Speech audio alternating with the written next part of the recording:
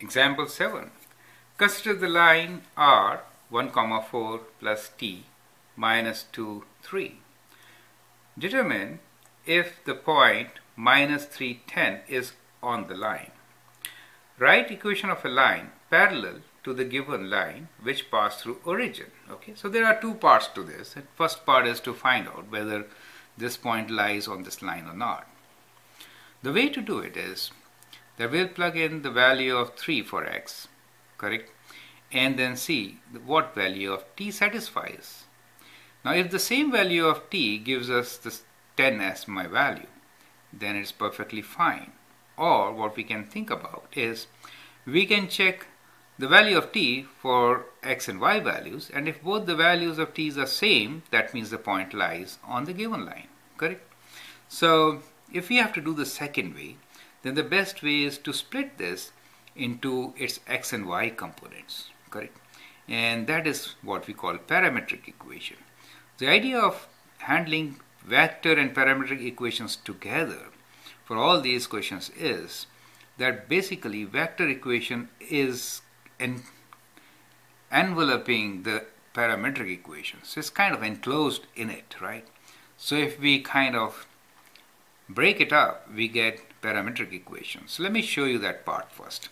So we say r is equal to this. So we say let any point on the line xy is equal to 1 comma 4 plus t times minus 2 3 correct now from here these are my x components right so my x components here are any general point this is my fixed point and that gives me the direction number correct? You remember the direction numbers a and b? So these are my kind of fixed points and t is variable correct?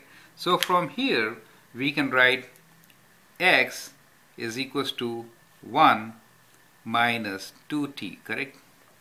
This is what we can write for x. And for y we can write y equals to 4 plus 3t that's what we can write for y. So if we split it in the, these two and they still represent us the same equation r. Do you understand? So it's kind of different form of the same thing. Correct. Now we are given x as minus 3 so let's plug in minus 3 here and find t. So when I do so I get minus 3 equals to 1 minus 2t correct. Now I'll bring 2t this side and 3 that side and I get 1 plus 3 which is 4 and so t is equals to 4 divided by 2 which is 2 for me. So I got this value of t for the x coordinate. Let's see what do we get here. So the y value given to us is 10. So let's put 10 here. 10 equals to 4 plus 3t. And let's bring 3t. Okay, let's bring 4 this time here. So we get 10 minus 4 equals to 3t, right? Or 10 minus 4 is 6. So we get 6 and divided by 3 equals to t. And 6 divided by 3 is also equals to 2, right? So we get the same 2, green. Do you see that? So same value of t. So if I plug in t as 2, if I plug t as 2, we get the point minus 3 10 okay so let's check it out. So if I plug t as 2 what do I get? The equation becomes 1 comma 4 plus we'll write t as 2 to minus 2 3 correct? So we get 1 comma 4 plus minus 4 6 right? And when we do this math we get 1 minus 4 as minus 3 wow and 4 plus 6 as 10. Perfect. So that's the point on our line, right? So xy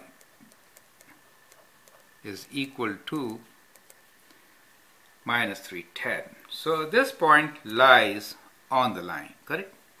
Now part B is write equation of a line parallel to the given line which passed through origin. Now if it is passing through origin, then 0, 0 is on the line, correct? So our equation is, in that case, it could be written as r equals to origin is 0 0 so I should not but I will uh, uh, plus so we can use any variable. Instead of t I can use s right? Parallel means same direction number right? So it's minus 2 3 correct? So this is saying as s times minus 2 3 if I write equation like this that means it is going through origin right? So you can kind of sketch this line also. And uh, let me make a beautiful sketch here itself. Uh, minus 2 3 will be moving this side so I have room here. So that's good. Trying to utilize my space.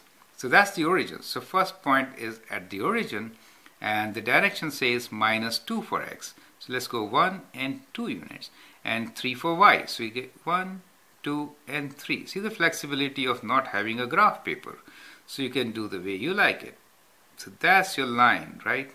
This line, we can extend it either side, correct? So that is the line which is through origin and is parallel to the given line. I hope you enjoyed the process and learned. And I hope I made this topic very simple for you. So let's move on. We are going through interesting questions now. We've seen parallel line and now let's see how to work out with a perpendicular line. Thank you.